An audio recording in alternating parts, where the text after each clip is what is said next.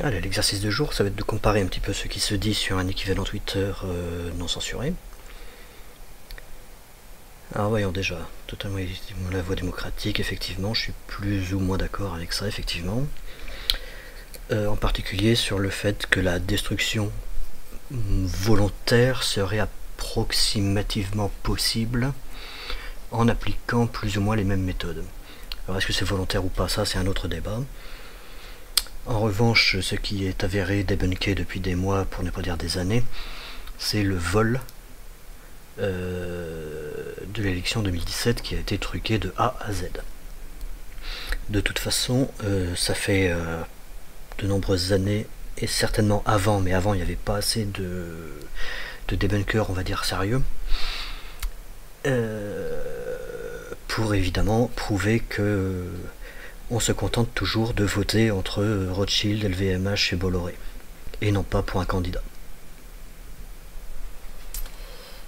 Euh, bon, on va continuer un petit peu, on va voir ce qui se dit sur d'autres euh, choses. McKinsey, qui était sous le feu des questions des sénateurs. Euh, Pouvez-vous nous dire pourquoi vous êtes surnommé la firme L'un des directeurs associés de McKinsey était notamment interrogé sur une mission qui portait sur l'enseignement, facturée 496 800 euros c'est une somme assez conséquente euh, quand même. Donc ça aboutit à quoi précisément? Je n'ai pas euh, directement piloté ces travaux. Euh, je pilote l'ensemble du secteur et j'ai des collègues qui, sont spécialistes de ces problématiques d'évolution de l'enseignement, Madame la rapporteure. D'accord. Bah, lui aussi, il a été pris la main. Oui, bah, c'est un peu facile de dire bah oui, mais c'est mes employés, c'est pas moi. C'est un peu facile ça. Oui, je suis directeur, je suis chef de projet, je suis pas du tout dans le contenu. N'empêche qu'il y a un milliard d'euros, la firme les a bien encaissés quoi ce cas-là, plus des dizaines d'autres cas. Dans le pot de confiture, tout simplement, euh, M. Tagilini.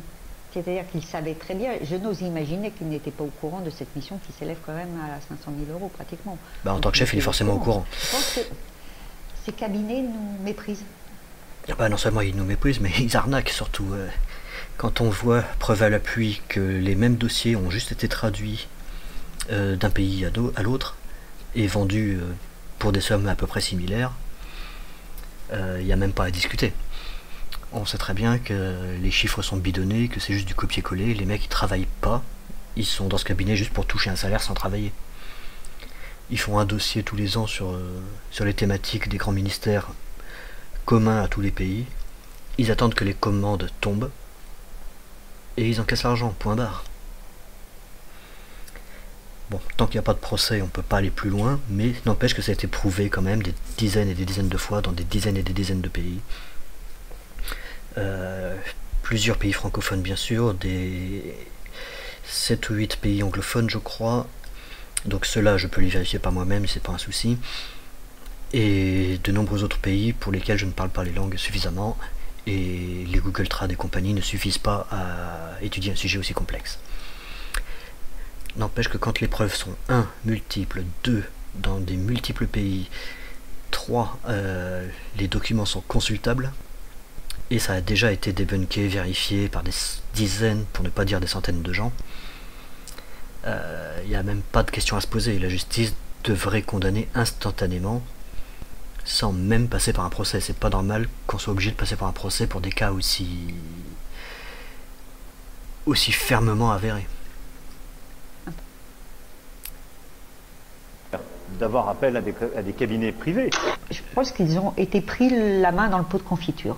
C'est la France qui est dirigée comme une autre effectivement. Baisse ensuite de plus de 15% sur l'année qui a suivi sous ce quinquennat, ce qui montre aussi une procédure de refroidissement, de normalisation. Il dit que euh, le recours au cabinet a euh, régressé de 15%, ce qui est faux, puisque la circulaire du Premier ministre, elle date du 19 janvier 2022 et elle préconise, elle n'est pas euh, comment dire contraignante, elle préconise de réduire de 15% le recours au cabinet. Oui, puis une baisse de 15%, tu m'excuseras, mais passer de 0% à 1 milliard d'euros, c'est pas une baisse. Hein, euh, même si c'est réparti sur 5 ans. Alors peut-être qu'ils disent, oui, on a baissé de 15% d'une année sur l'autre mais sur l'ensemble du quinquennat, c'est une augmentation de 100% à hauteur d'un milliard d'euros. Et encore, ça c'est ce qui est su, vérifié et validé. Si ça se trouve, la réalité est peut-être du double. Mais encore une fois, ce ne sont que des questions, puisqu'on, puisqu'à titre personnel, je ne peux pas le vérifier. Euh, le cri de colère d'un infirmier sur l'hôpital, donc ça aussi, évidemment. Il y a deux semaines à Montélimar. Ah oui bah, Je crois que vous n'avez pas très bien vu les étudiants infirmiers ou les étudiants en médecine. Parce que si eux ne travaillent pas dans l'hôpital, très clairement, l'hôpital peut fermer. Parce qu'il n'y a plus personne dans les hôpitaux aujourd'hui. Et qu'aujourd'hui, les étudiants servent de main-d'œuvre. Ça, c'est très très vrai. Seulement, le problème, c'est que tant qu'on mettra euh, dans des postes de ministres, donc là, c'est la médecine, manifestement, alors je prends juste cet exemple là au pif, mais même si c'est pas la bonne personne, c'est pas grave, c'est juste pour l'exemple. Mais en médecine, quelqu'un qui n'a pas été 20 ans médecin, euh, clairement, cette personne-là n'a rien à faire dans le, dans le ministère de la médecine. Ou dans le ministère de la santé, je sais plus comment il s'appelle, ministère de la santé. Euh, concrètement, quelqu'un qui n'a pas d'expérience en économie, qui n'est pas qui n'est voilà, dans le monde réel, qui n'est pas commerçant ou artisan pendant 20 ou 30 ans, n'a pas le droit, dans un monde idéal et utopique, à être au ministère des Finances. C'est pas possible. Et ainsi de suite, ainsi de suite, ainsi de suite. Écoutons la suite quand même. Pas marché, pas prix. Et non, on n'a plus cette capacité d'éduquer les étudiants. Et c'est bien pour ça que les internes de médecine vont se mettre en grève. Parce qu'ils n'apprennent plus rien. Ils font le travail. Ils travaillent comme un seigneur. Ils travaillent comme un médecin titulaire. Parce qu'il n'y a plus personne dans l'hôpital. Ils pallient à ce manque de travail. Et dire que l'étudiant est là pour étudier et qu'il n'a pas vocation à travailler, c'est ignorer la réalité du terrain. Et ça, Alors, et est-ce ça, c'est le symbole qu'on vous dit depuis 9 mois. Est-ce qu'il y a une réponse grève, revendications, aucune n'a été entendue. Bon, on n'a pas la réponse. Bon, ça c'est des machins. Une énorme opération de blanchiment d'argent impliquant Biden, machin, nénénia. Oui, bon, ça c'est en cours de débunkage. On ne sait pas si c'est vrai pour l'instant. Ça c'est le même sujet. Comme ici, lorsqu'elle quitte Alençon pour rejoindre la C'est les capitale contribuables qui régalent. Bah oui, ça, oui. sénatrice, c'est l'institution qui a payé sa voiture. Et si Philippe s'arrête pour faire le plein de carburant, c'est aussi le Sénat qui va vous rembourser ou qui va payer directement les frais, c'est ça Entre la Normandie et Paris, elle voyage donc en voiture. Mais elle aurait également pu prendre le train en première classe. Tous ces voyages sont gratuits. Quant au repas, là encore, c'est le Sénat qui régale. Et les sénateurs peuvent même avoir des invités. Les caleçons et les chaussettes, ça ne fait pas partie des frais de représentation. Cela pouvait être remboursé jusqu'en 2017, puisque les sénateurs n'avaient aucun compte à rendre. Leur enveloppe de frais, c'était de l'argent de poche. Voilà. Alors c'est toujours le cas, à moindre échelle, puisqu'il y a quelques détails qui sont plus euh, utilisables. Mais n'empêche que tout ce qui est frais de bouche, frais de déplacement, euh, frais vestimentaires et les frais pour prendre des secrétaires, pour prendre des assistants, pour euh, tout ça, c'est quand même nous qui payons au final. Sans compter que le nombre de sénateurs est absolument aberrant. Et là, on ne parle que des sénateurs, on ne parle pas des députés, du cumul des mandats, on ne parle pas du reste. Euh, et voilà, les ordinateurs portables personnels, les téléphones personnels, et ainsi de suite, tout ça, ça rentre encore dans les frais aujourd'hui. Et c'est nous qui payons.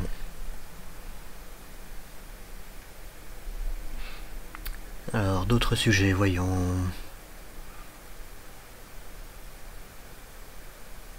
T'as merde. non, t'as c'est depuis 40 ans, oui, c'est pas faux. Coup de mensonge de dissimulation de trucage, de. Ça fait 20 ans que tout le monde dit que ça va péter l'année prochaine, ça pète jamais. Bah oui, c'est bien le problème.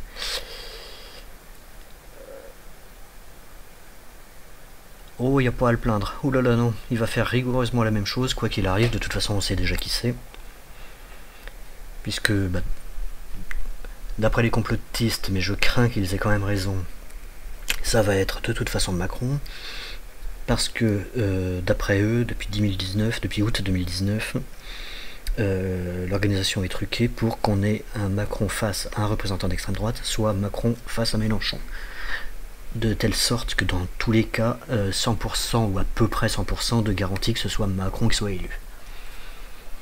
Bon, c'est la version complotiste. Et là, il y a même, euh, il y a même un ajout à faire à ça, c'est qu'il y a normalement la semaine avant le premier tour ou pendant les 15 jours entre les premiers et second tours, ou c'est un mois, je sais plus.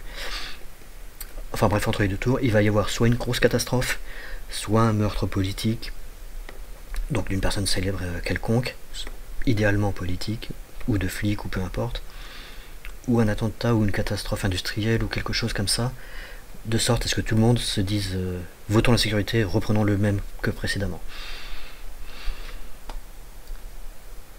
Alors il y a même des arguments qui disent, euh, avec des comparaisons plus ou moins hasardeuses pour le cas 2017, pour le cas d'avant, et ainsi de suite, et que ça fonctionne systématiquement.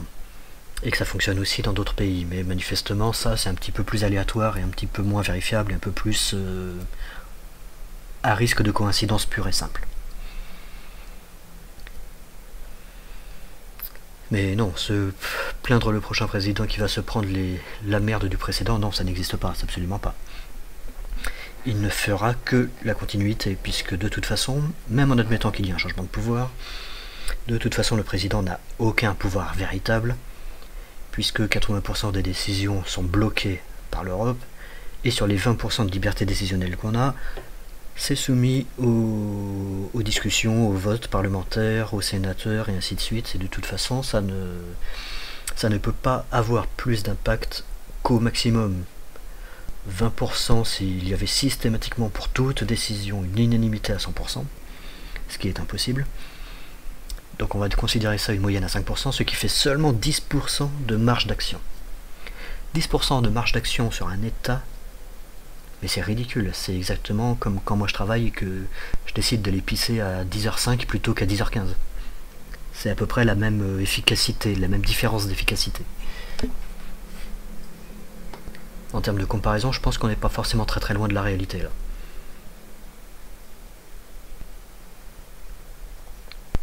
Point 3 de mémoire vrai, il faudra réécrire l'histoire, il faudra propositionner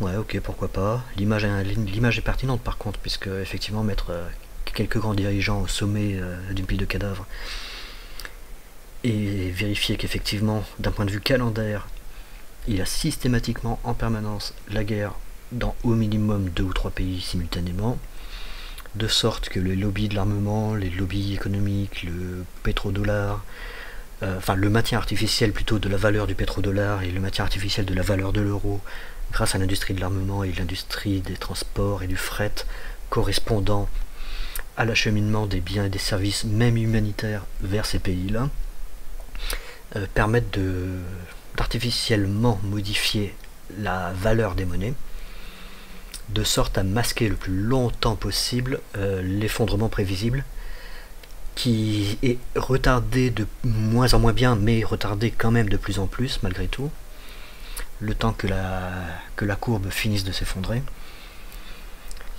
Et au final ben, c'est un petit peu artificiel. Et justement c'est pour ça qu'il y a un très très gros risque, c'est pour ça qu'il y a une panique générale en ce moment sur les conflits euh, russe-Ukraine, que ça a un peu stigmatisé sur le, risque de conflit armé dans le Pacifique Sud côté chinois avec les Américains, et que la menace russe pèse aussi sur, les, sur quelques îles du Nord-Japon, celles qui ne sont pas officiellement russes, les deux, je crois qu'il y en a quatre, il euh, faudra vérifier.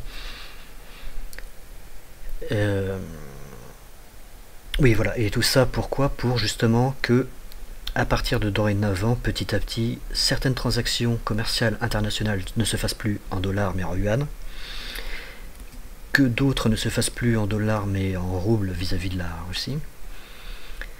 Et ce ne sont pas des impacts euh, pour lesquels ils ont fait ces, ces, ces guerres, mais plutôt des méthodologies qui arrangent ces pays-là et du coup, ils maintiennent la guerre pour faire baisser le pouvoir des États-Unis. Bon, ça c'est plutôt une bonne chose, en particulier pour nous, Européens. Faire monter le pouvoir de la Chine, ça c'est déjà beaucoup moins bien puisque c'est dictatorial. Faire monter le pouvoir de la Russie, c'est beaucoup moins bien aussi pour les raisons dictatoriales. Mais c'est aussi le cas à moindre échelle euh, dans les interactions entre les différents pays d'Afrique. Alors le, bon, cas africain est un petit peu différent puisque les méthodologies sont plus en mode guérilla que guerre ouverte, mais, euh, mais c'est le cas quand même. C'est aussi le cas d'ailleurs pour l'Amérique du Sud. Bref. C'est un sujet tellement complexe que je passe très très vite dessus parce que bon. Euh, Mais en tout cas, ce qui se profile, c'est qu'effectivement, les monnaies, et en particulier les monnaies communes, à des gros territoires multiculturels, donc en particulier le dollar qui est utilisé partout, en particulier l'euro qui est utilisé dans tous les pays d'Europe forcément, et voire même un petit peu, un petit peu plus largement, toutes ces monnaies-là vont s'écraser au profit du yuan, au profit du rouble, au profit de quelques monnaies locales de différents pays, je pense notamment à l'Inde par exemple, etc. etc. Alors, qu'est-ce qu'il raconte lui? Les taxes foncières augmentent. Tu parles d'une surprise? Bah oui, évidemment, mais ça fait tellement longtemps qu'on nous dit euh, on les gèle, on les gèle, on les gèle pour gagner des votes, pardon, pour acheter des votes, que bah, tôt ou tard, il faut bien rattraper ce manque à gagner. Donc oui, maintenant ça augmente. En fin de mandat, comme par hasard, histoire que, de toute façon, ce sera pas la faute du suivant. Du suivant réélu de force. Sans compter qu'il est de toute façon impossible de vérifier la véracité d'un bulletin, enfin d'un bulletin d'une élection, parce que justement personne ne peut avoir de façon nominative qui a voté pour qui et refaire les comptes. Donc à partir de là, on peut nous raconter ce qu'on veut sur les chiffres réels. Imaginons qu'il y ait, je sais pas, je vais prendre un chiffre complètement débile juste pour l'exemple, un milliard de votants sur un territoire quelconque il y en a 750 000 qui votent pour un candidat A. Oui, mais c'est le candidat B qui peut être élu, puisque de toute façon, il n'existe aucune possibilité de vérifier les comptes. On ne peut pas comptabiliser les bulletins nominativement pour aller vérifier personne par personne pour qui ils ont vraiment voté. Donc à partir de là, le vote n'étant ni obligatoire et en plus anonyme, à partir de là on ne peut rien faire aucune vérification n'est possible, donc on peut nous raconter ce qu'on veut. C'est l'argument principal des complotistes justement par rapport au fait que Macron va être élu de force. Et c'est là-dessus qu'ils appuient leur thèse comme quoi c'est préparé depuis août 2019. Euh, la vérité dérange nénénien. instructeur américain entraîne 900 soldats au bataillon néo-nazi Azov. Bon bah oui, non mais ça de toute façon, euh, toutes les armées du monde entraînent d'autres armées du monde, quel que soit le contexte, juste pour encaisser les thunes. Donc oui, les Américains ont entraîné des nazis très probablement côté Azov. Il est très probable que d'autres pays l'aient fait, peut-être même que la France l'a fait aussi. Ça, il n'y a rien de surprenant. J'allais dire il n'y a rien de choquant, bah si. Mais par contre, il n'y a rien de surprenant à ça.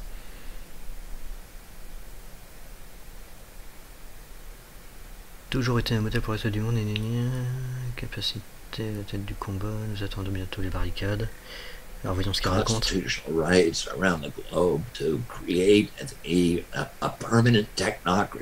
Technocratie permanente, oui, bah ça oui, c'est le, c'est le fondement même de la, des thèses complotistes. Hein. encore une fois, c'est de l'argumentaire euh, pris isolément. Alors, le problème, c'est que si on accumule tous les comparatifs, les explications et ainsi de suite pris isolément, si on les accumule, ça devient une preuve. Sauf que en quoi le fait qu'une information est répétée en boucle euh, de façon additionnelle est plus une preuve qu'une information qui est isolée, solitaire, mais par contre vraie et avérée? Faudrait se poser la question quand même.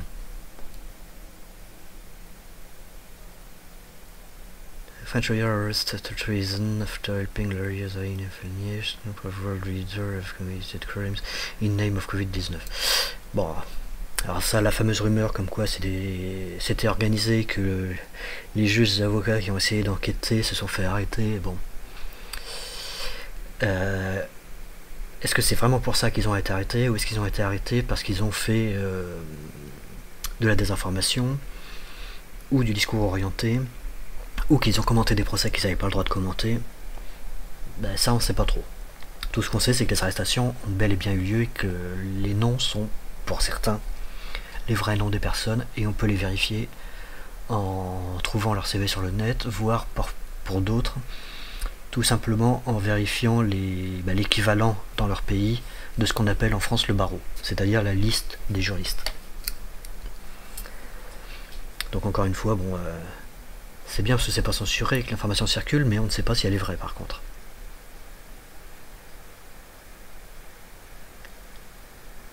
Euh, coup de tonnerre, un officiel avoir truqué l'élection 2020 pour Joe Biden, oui, non, mais ça c'est pareil. À partir du moment où les votes ne sont pas nominatifs et obligatoires, on ne peut pas vérifier qui a voté pour qui et refaire les comptes, donc on ne peut pas vérifier la vérité des scrutins. C'est le seul et unique argument, a priori en tout cas, tant que les choses ne sont pas avérées entre-temps. Euh, nous rappelons cette vidéo YouTube demande dessus d'éducation 93, le gauchisme à l'école a été censuré. Bon bah ça c'est normal. Tous les sujets wokisme et politique sont censurés ou au mieux shadowban de toute façon sur les plateformes vidéo, donc de toute manière... euh, Ok. Donc ils ont fait un riposte du truc, bon pourquoi pas. Philippot, bon bah lui c'est de l'argument politique de base. Euh, État gouverné par les conflits d'intérêts des différents cabinets de conseil, les médecins de plateau bourrés de conflits d'intérêts avec les labos, bon ça oui on le sait, ça c'est pas un souci. Euh, alors conflit d'intérêts ça veut pas dire qu'il y a complot, hein, ça veut juste dire qu'ils encaissent des chèques indus et... Enfin indus moralement, mais qui sont quand même légaux. C'est là où il y a un gros problème, c'est qu'on peut pas lutter contre, donc il y a du conflit d'intérêts. C'est pour ça que le conflit d'intérêts d'ailleurs est séparé de bah, justement de l'arnaque, de la criminalité, etc. Que c'est une euh, un titre d'accusation à part. Lieu est dévoré par les conflits d'intérêts, oui, bah ça oui, c'est- pas que chez nous, ça c'est clair. Ils se tiennent tous, système corrompu à 100%, bah oui, il faut tous les dégager d'un coup, bah oui, c'est ta seule chance d'avoir une place un jour. Forcément que tu as ce discours là, Philippot. C'est ridicule là. Mais la question qui se pose, c'est est-ce que tu veux leur place pour toi-même bénéficier des conflits d'intérêts euh, pour t'enrichir à titre personnel Ou pour le pouvoir tout simplement Ou est-ce que c'est véritablement pour faire des choses? Vu le peu de chances que tu as d'intégrer, on ne saura jamais, puisque de toute façon, on ne pourrait le savoir que si tu venais un jour au pouvoir.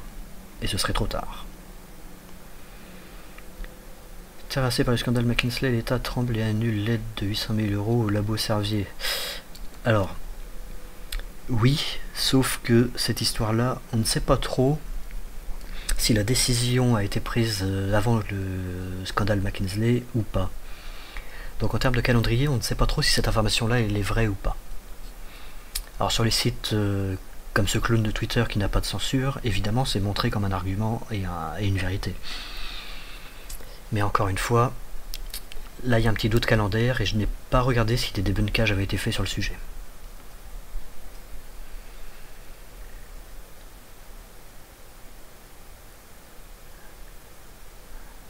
Bon là c'est la provocation à la con, mais bon j'avais trouvé ça rigolo. Euh, un officier de la CIA avoue ouvertement avoir truqué les élections 2020 pour Joe Biden et dit qu'il le referait. Bon ça ça fait partie des de ce que j'appelle la mise en page d'un titre putaclic euh, au-dessus d'un article réel pour se poser la... Alors là, il n'y a même pas d'article réel d'ailleurs, puisque je vois qu'il n'y a pas de lien vers l'extérieur. Pour essayer d'attirer les, lectures sur soi-même. Bon, ça c'est manifestement un riposte d'un post qu'on vient de voir. Entendre un mec comme Macron parler d'indignité sur les propos de Zemmour. Pareil, il a fait les encadreurs, oui, effectivement.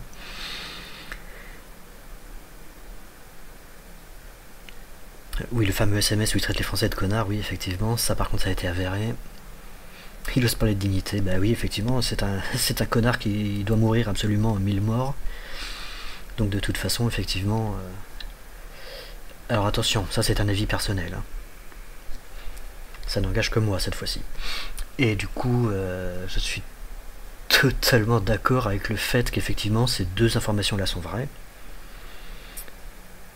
Mais en quoi ça sert à quelque chose d'en parler juste comme ça, sans aller faire une dénonciation publique, sans écrire un article, euh, sans, sans, sans apporter les preuves, parce que c'est d'autres qui ont été obligés de le faire. euh, voilà. En plus, un mec qui est dans le pseudonyme est fachosphériste, bon. On sait qu'il est de toute façon dans la provocation, même quand il dit des vérités, en termes de formulation. Trocadéro, un immense regret. Soleil brillant. Bon, ça c'est un article externe. Bon, ok. Je vais pas aller le voir ici. va sûrement nous dire que c'est un tireur sportif qui l'a fait. Faut continuer à faire interdire les armes légales. Encore dans la ville d'Usul. Bon, là c'est suite à l'incident euh, de Lyon où il y a eu, je crois, si je ne confonds pas, euh, des tirs à travers. euh, Oui, c'est bien ça. Oui, des tirs à travers des portes. C'est bien ça. Mais bon, de toute façon, ça, ça arrive partout. C'est juste, euh, voilà, ce fait-là a été médiatisé, d'autres le sont pas. Mais rien qu'à côté de chez moi, il y en a des dizaines toutes les semaines, donc des cas comme ça. Donc, euh, pff.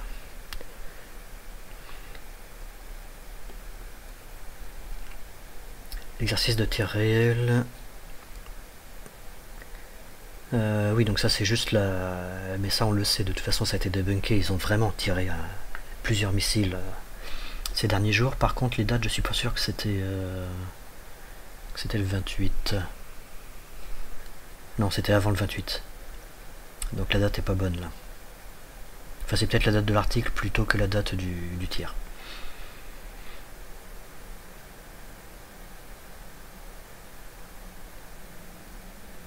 La photo d'un média twitteresque. euh,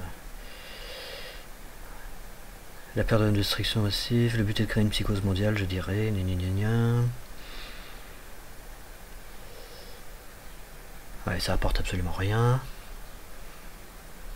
Macron assassin serait choquant. Euh, bah, concrètement, il y a quand même beaucoup de. Je sais pourquoi il marque ça, c'est parce qu'il y a eu beaucoup de coluchage, supposé, durant la Macronie, mais il y en a aussi eu avant.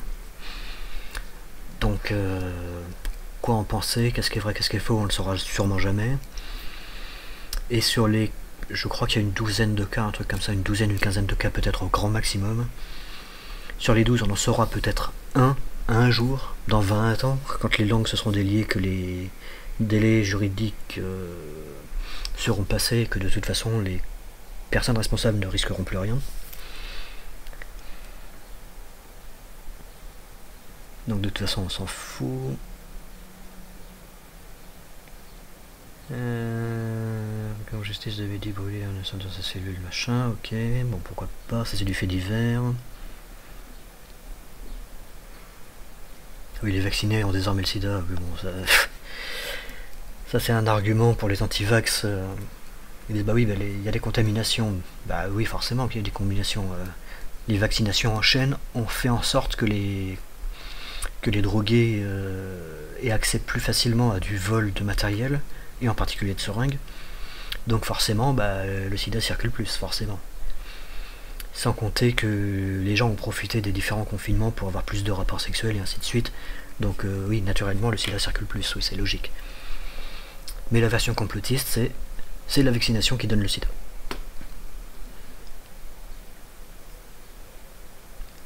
Bon, puis les mecs qui surenchaînent, bien sûr. euh. Euh, Macron a lancé une campagne présidentielle, bah oui, forcément. Et avoir des thèmes suivants, l'enseignement, le pouvoir d'achat, les machins, bah oui, forcément, c'est son métier, connard. Le logiciel de millions, comme États-Unis, les élections de 2021 ont été truquées pour Macron, va faire la même chose que les élections de 2017 qui a été truquée. Bon, ça oui, ça c'est clair. Ça, par contre, le trucage de 2017 est avéré. Celui de 2022 est très fortement supposé, mais bon. euh, Est-ce que c'est un vrai trucage ou est-ce que c'est de la sociologie et c'est le matraquage médiatique qui fait en sorte que un président sortant est forcément avantagé parce qu'on parle plus de lui, parce que les gens ont plus son nom en tête et ainsi de suite? Ça, mystère. Euh, bon, là, ils reprennent les articles sur le cas. Wiko Totally Bit China. euh,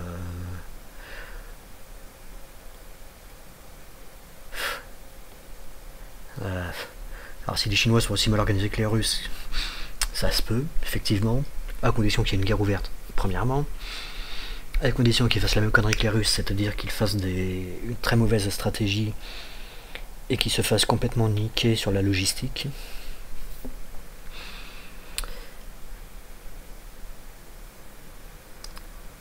Bon, lui, c'est un analyste qui fait des, très grosses vidéos de 40 minutes euh, tous les, toutes les semaines, je crois, sur la situation en Ukraine. Sauf que le problème, c'est que son discours. Alors, sur les mouvements de troupes, il n'y a pas de problème, parce que là, il décrit ce qui est véritablement connu. En revanche, sur ce qui est le discours annexe, euh, avant, après, sur ses suppositions politiques, euh, il est très clairement euh, pro-Poutine. Et il n'y a pas d'équivoque quoi.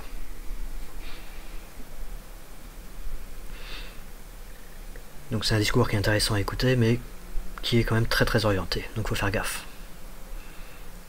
Bon là on revient sur les mêmes articles, les mêmes photos. Des provocations à deux balles, fera-t-il dénazifier la France?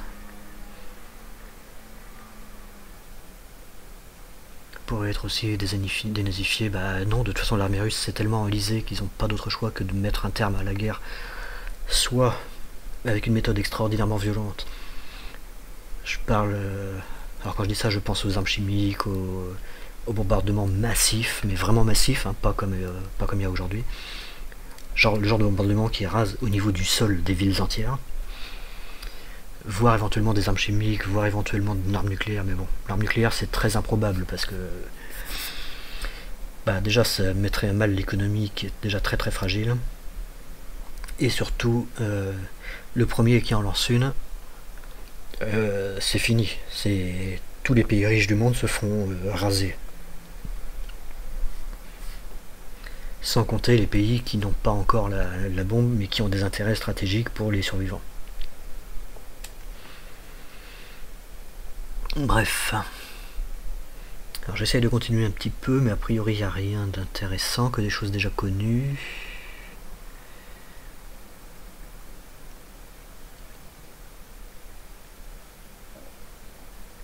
Euh, je vais faire remarquer qu'on est aujourd'hui achat, il s'agissait un. Oui, effectivement, voilà. Ça c'est du connu. Les pédotrans soutiennent les troupes ukrainiennes, oui, pourquoi pas, on s'en fout. Chacun fait ce qu'il veut en termes de soutien. L'inflation, les prix, les rayons vides, bah oui, si la crise continue à s'aggraver, ça arrivera dans une certaine mesure. Les pays qui sont un petit peu plus pauvres euh, et qui ont des activités locales pourront continuer à, vivre correctement, on va dire. Par contre, les pays qui sont complètement désindustrialisés, bah, la France en particulier, euh, L'Allemagne pas trop, parce qu'ils ont quand même gardé de l'industrie, même si les salaires se sont effondrés, etc. Mais beaucoup de pays comme ça euh, vont se casser la gueule, très clairement. Macron ça ça pour les personnes du Covid, gna, ouais, pourquoi pas. Bon, il n'est pas seul dans le coup, mais il en fait partie évidemment. Puisque à force de prendre et surtout de valider des mauvaises décisions quand c'est pas lui qui les a prises, Très concrètement, il a aggravé la situation et fait en sorte qu'il y ait beaucoup plus de morts que ce qu'il aurait dû y avoir dans un pays comme le nôtre. Sans compter les fermetures arbitraires des lits d'hôpitaux, etc., c'est-à-dire la marge. Alors typiquement, pourquoi il y avait trop de lits d'hôpitaux et pourquoi ils ont réussi à enfermer 20 euh, 000, enfin 17 000 ben, Concrètement, euh, cette marge sert justement à ce genre de crise. Or, encore une fois, la crise économique qui est pour l'instant masquée et qui se tient artificiellement, enfin qui est soutenue artificiellement pour cacher l'effondrement, euh, grand renfort de moyens politiques, ainsi de suite, comme je le disais tout à l'heure, euh, tous ces soutiens artificiels font que, bah, tôt ou tard, il faut faire des coupes dans des, dans des endroits où il y a de la marge.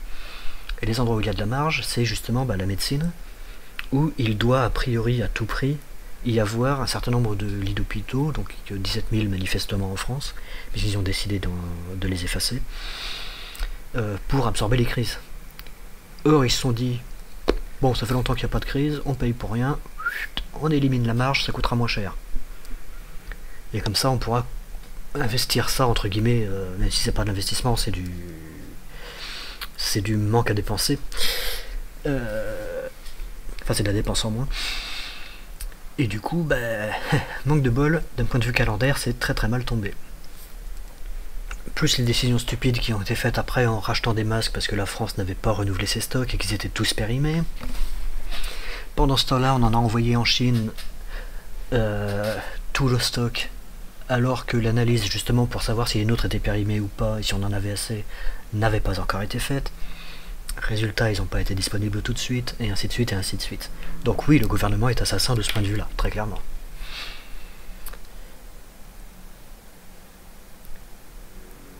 Bon, après, on rebondit en permanence sur les mêmes articles.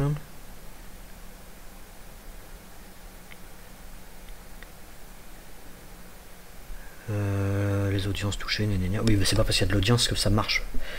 C'est pas parce qu'il y a 7 millions d'auditeurs qu'il va y avoir 7 millions de votants. C'est un peu con leur argumentaire là. Donc c'est intéressant d'avoir des chiffres, mais qu'est-ce qu'on en fait? Parce que c'est pas parce qu'il y a autant de monde que ça qui écoute que, que ça veut dire quelque chose, que ça veut dire que les gens pensent pareil.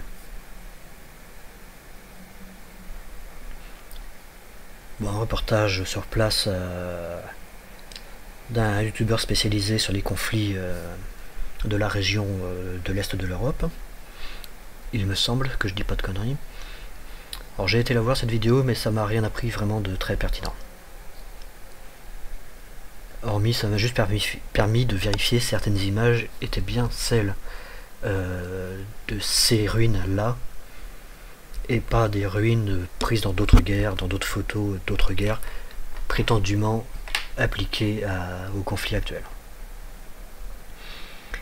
Bon, on tourne un petit peu en boucle. Bref, tout ça pour dire que, voilà, si on regarde un média comme celui-ci, qui est une espèce de... qui s'appelle Guitar et qui est une espèce de, de Twitter sans censure, ou quasiment sans censure, bah finalement les discussions sont euh, beaucoup moins euh, pipi caca, euh, polémique, drama,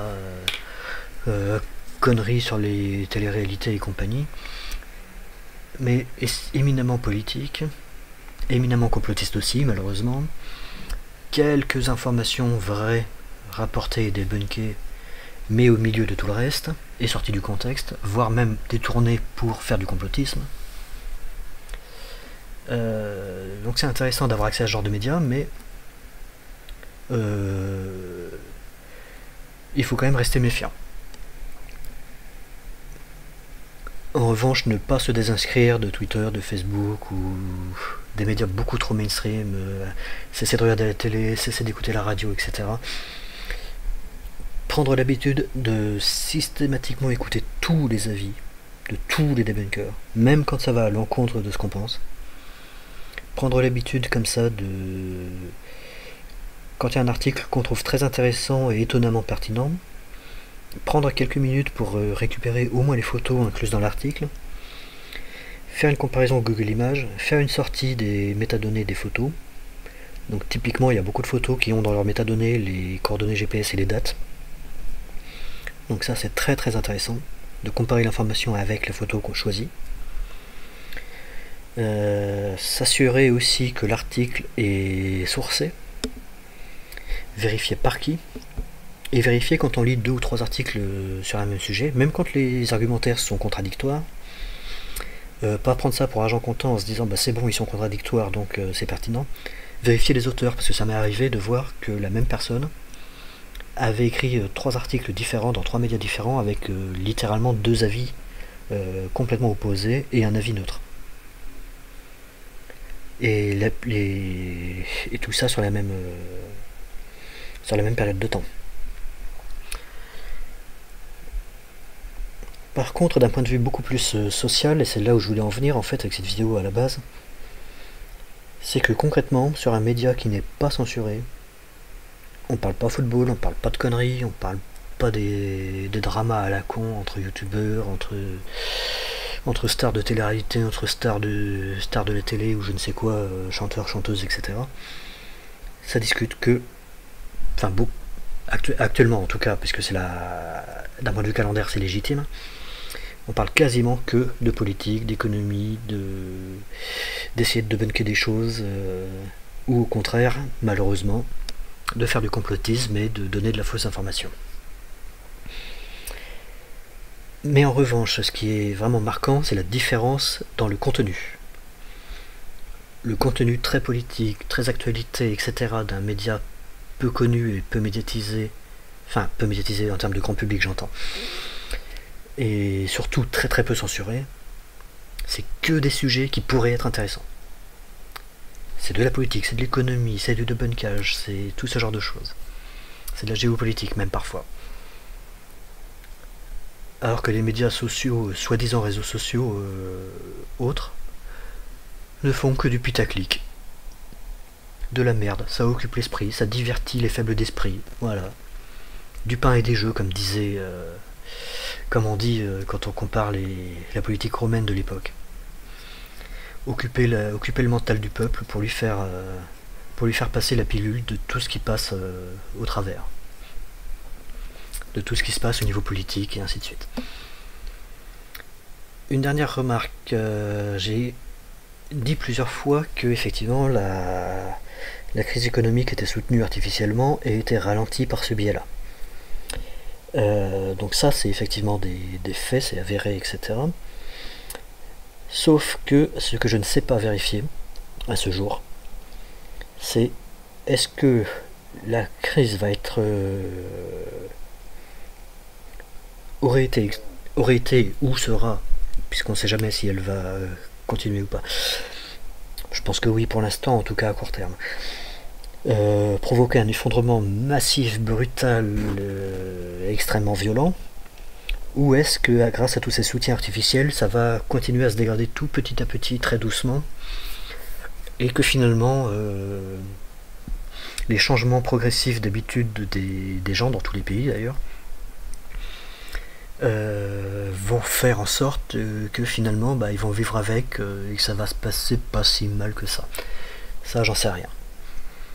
L'autre gros point d'actualité, c'est l'élection soi-disant truquée de Macron. Je pose de plus en plus de questions, étant donné que 2017 a été truqué, que, que même s'il n'y a pas de preuves vraiment fiables, mais seulement des très très gros faisceaux d'indices sur le fait que potentiellement les complotistes pourraient, je dis bien pourraient avec du conditionnel, avoir raison vis-à-vis de la très probable euh, réélection macroniste de force. Enfin, quand je dis de force, c'est sous forme truquée, hein, bien entendu. Ou est-ce que sa réélection va être légitime? Aucun moyen de le vérifier. Ou est-ce qu'il va être dégagé? Très improbable ça m'arrangerait à titre personnel, mais bon, ça c'est autre chose. Ça n'engage que moi pour le coup. Euh, voilà, donc là je sais pas trop quoi en penser, parce que malheureusement, tous les faisceaux d'indices, quand on cherche de façon sérieuse, euh, tentent à prouver que la part de vérité dans les arguments complotistes s'épaissit un petit peu petit à petit, avec le temps. Euh, alors, est-ce que c'est suffisant pour faire une preuve Très clairement, non. Hein. ne me faites pas dire ce que je ne dis pas. Mais la question mérite d'être posée. Et pourquoi elle mérite d'être posée? Parce que, comme je le disais, aucune élection, tant qu'elle n'est pas obligatoire et nominative, n'est vérifiable. On ne peut pas vérifier qui a voté pour qui et refaire les comptes. Donc à partir de là, euh, il y a toujours un petit risque de, je sais pas, euh, quelques pourcents les résultats soient effectivement bel et bien truqués. Voire pire encore, que ce soit connu à l'avance, deux ans à l'avance. Enfin, deux ans et demi en l'occurrence. Voilà, donc je vais arrêter là pour, ce, pour cette vidéo. Mais socialement, c'est quand même très intéressant de se rendre compte de la distinction entre un réseau social et un autre, qui sont clones l'un de l'autre, un où on fait du vent, on brasse du vent, on brasse de l'air, on occupe les, esprits. Et de l'autre, on essaye de parler de politique, etc. et de choses sérieuses, tout en étant, grâce au manque de censure, ou à cause du manque de censure, diront certains, pollué par la partie complotiste, mais dans le même temps, c'est aussi un des rares endroits où on peut parler sérieusement de debunkage. Voilà, sur ce, à plus.